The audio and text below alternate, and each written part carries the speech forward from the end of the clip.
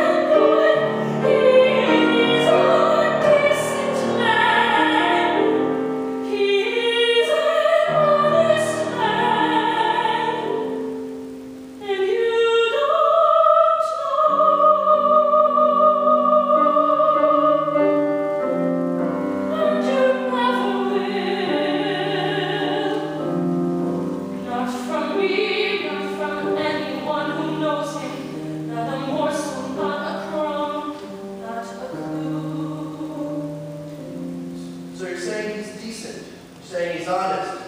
But ma'am, you're not saying he's innocent. I have nothing more to say